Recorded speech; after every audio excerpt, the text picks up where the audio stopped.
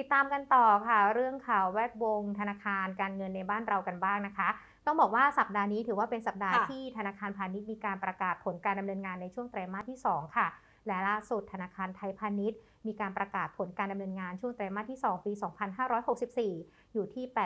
8,815 ล้านบาทค่ะธนาคารไทยพาณิชย์และบริษัทย่อยเปิดเผยกำไรสุทธิไตรมาส 2 ของปี 2564 จำนวน 8,815 ล้านบาทเพิ่มขึ้น 5.4%จากช่วงเดียวกันของปีก่อนสำหรับครึ่งปีแรกของปี 2564 ธนาคารมีกำไรสุทธิจำนวน 18,902 ล้านบาท เพิ่มขึ้น 7.3%จากช่วงเดียวกันของปีก่อน ในไตรมาสที่ 2 ของปี 2564 รายได้ดอกเบี้ยสุทธิมีจำนวน 23,475 ล้านบาท ลดลง 1.3%จากช่วงเดียวกันของปีก่อน ธนาคารตั้งเงินสำรอง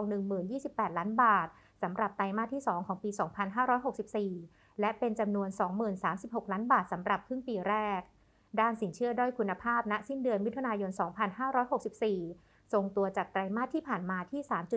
3.79%อัตราส่วนค่าเผื่อหนี้สงสัยจะศูนย์ต่อสินเชื่อด้อยคุณภาพของธนาคาร ยังอยู่ในระดับสูงที่ 142.3%ในขณะที่เงินกองทุนตามกฎหมายของธนาคาร ยังอยู่ในระดับที่แข็งแกร่งที่ 17.9% ทางด้านของคุณอาทิตย์นันทวิทยาประธานเจ้าหน้าที่บริหาร และประธานกรรมการบริหาร ธนาคารไทยพาณิชย์กล่าวว่า ในช่วงครึ่งแรกของปี 2564 ธนาคารมีผลการดำเนินงานที่เข้มแข็ง และสามารถรับมือกับความไม่แน่นอนจากการแพร่ระบาดระลอกใหม่ได้ด้วยดี และธนาคารยังหาโอกาสทางธุรกิจ หลังยุควิกฤตโควิด -19 เพื่อให้ครอบคลุมมากกว่าธุรกิจการเงินค่ะ